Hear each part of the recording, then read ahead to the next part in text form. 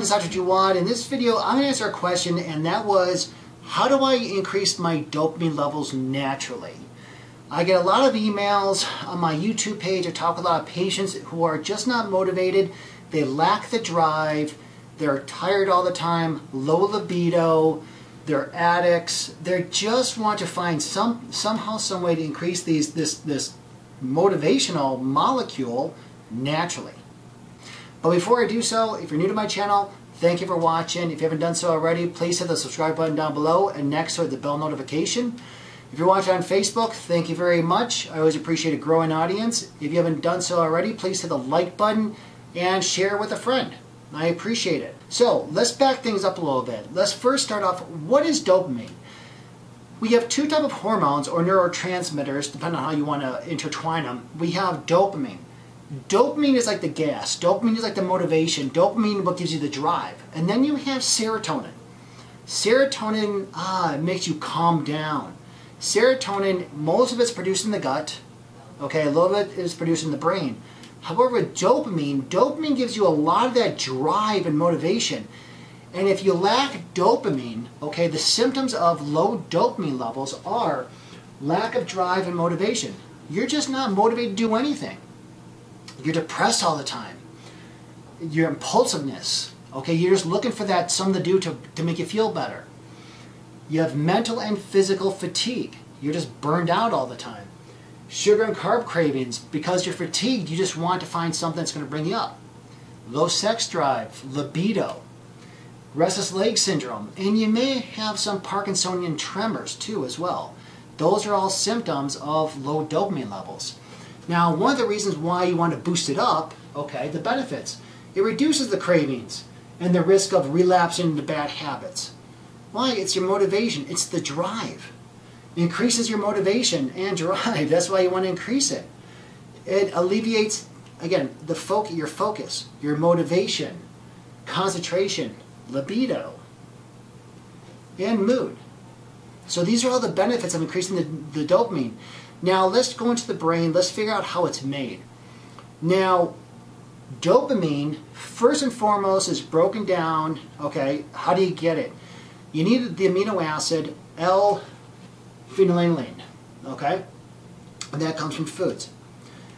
That gets broken down to L-tyrosine, another amino acid, which, with the help of vitamin B6 or P5P, which is the uh, broken down version of B6, that gets converted to L-DOPA.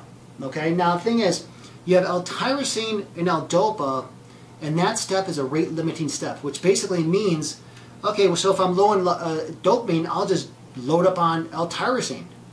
No, your body doesn't really work that way. Your body says, okay, I'm only going to give you what you need, and I'll excrete out the rest. And that's what's called the rate limiting step. However, you need B6, or I recommend P5P. That's the broken down version of B6 if you have some type of uh, disruption in the, the, absorption of B6. So you get L-dopamine, then it goes to dopamine. L-dopamine, with the help of vitamin C, gets converted to norepinephrine. These are part of the adrenaline hormones. Norepinephrine gets converted to epinephrine. This is the adrenaline response. Okay, this is what gives you your drive the motivation, that want. So you have vitamin C, which helps break down the dopamine to norepinephrine, and then you have SAMe and cortisol, which helps convert norepinephrine to, epine to epinephrine, which again gives you that motivation, gives you that drive, gives you that adrenaline, which basically gives you that get up and go. So what causes you to have low, low uh, dopamine levels? Because these are part of the adrenal hormones, you may have, if you have adrenal fatigue, you may be burned out on dopamine. Vitamin B6 deficiency, you're not absorbing B6. And if you don't absorb B6, then you're not converting all this to usable dopamine. Low stomach acid, why is that important? Because L-phenylalanine is an amino acid, and you get that from food, and if you have low stomach acid, you're not breaking down the food constituents properly for absorption to produce these chemicals. Okay, you may be just low in L-tyrosine. You may be low in L-phenylalanine deficiency.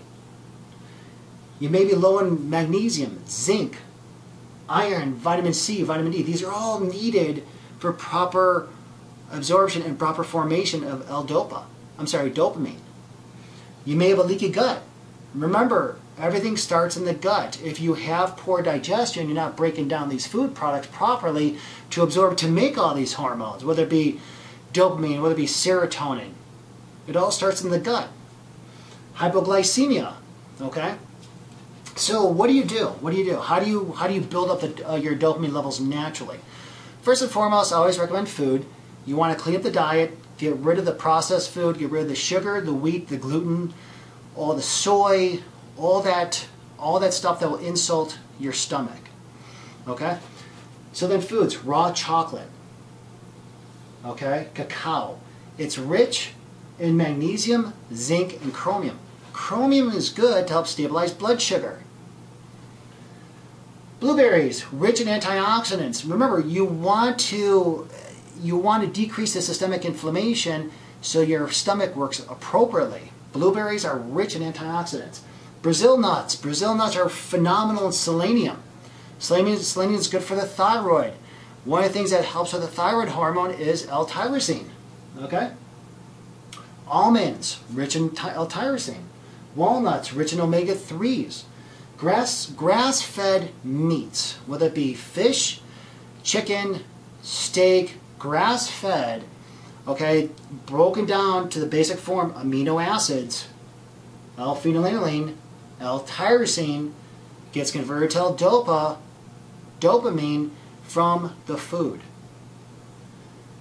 Cruciferous vegetables, okay, rich in sulfur compounds, B vitamins, and antioxidants, phenomenal for the gut health. You need this stuff to produce dopamine. And also, when you clean up your diet, you're going to feel better anyways. So, what supplements? I always recommend supplements as well. You can take L-tyrosine. Tyrosine, take anywhere from 500 milligrams to 2,500 milligrams on an empty stomach. Vitamin B6, or the broken down version P5P, which I always recommend, you want to take 100 milligrams twice a day. Rhodiola is phenomenal to help stabilize the adrenals and also to help with the brain. 100 to 200 milligrams twice a day. DL phenylalanine, 1 to 2 grams on an empty stomach. Okay, then the amino acids, you always want to take those on an empty stomach. But the most important thing besides clean up the diet to help boost your dopamine levels naturally is exercise. I've never, I've been exercising and working out for 30 years. I've never, in my wildest dreams, ever come across anybody who's depressed who exercises regularly and has a good diet. Exercising regularly will help increase endorphins and also to make you feel better. So definitely exercise, whether it be taking a walk or going to the gym or doing whatever. You need to exercise, build your body. So I hope this helps. If you have any comments, leave them down below. And if you find this information valuable and if you want to schedule me for a consultation, please follow the link down below. Schedule me for a 15 minute consultation. And I'll see you in the next video. Thanks for watching. Be good.